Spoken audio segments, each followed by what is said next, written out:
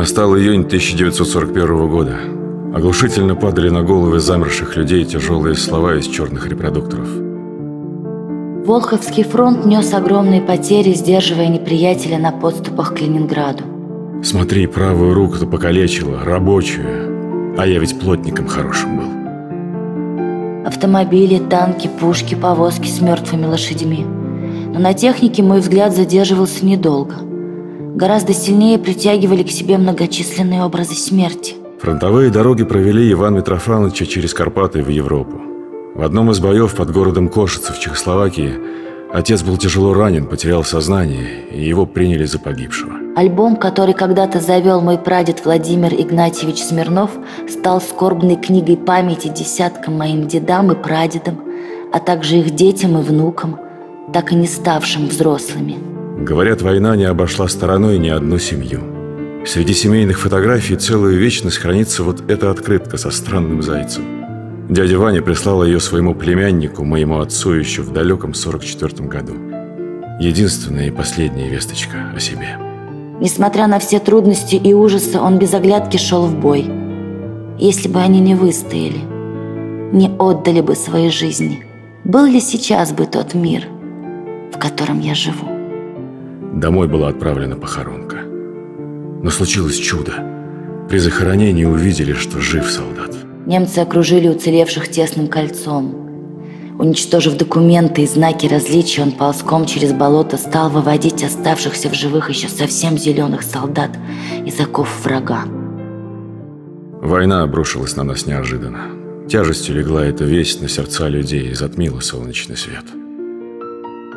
Мой дед, как и многие, побывал в самой страшной за всю мировую историю человечества войне. Был ли сейчас бы тот мир, в котором я живу?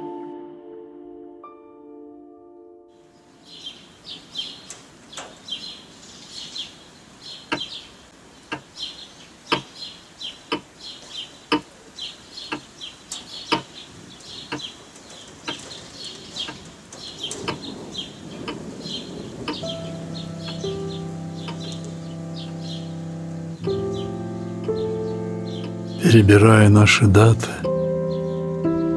я обращаюсь к тем ребятам, что в сорок первом шли в солдаты и в гуманисты в сорок пятом. А гуманизм не просто термин, к тому же говорят абстрактный.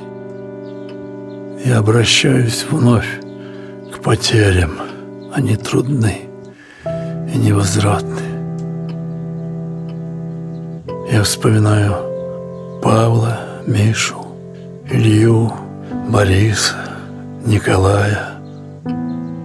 Я сам теперь от них завишу, того порой не желая. Они шумели буйным лесом, в них были вера и доверие, а их повыбило железом и леса нет, одни деревья. И вроде день у нас погожий, и вроде ветер тянет к лету. А укаемся мы с Сережей, но леса нет, и эха нету. А я все слышу, слышу, слышу их голоса припоминая. Я говорю про Павла, Мишу, Илью, Бориса, Николая.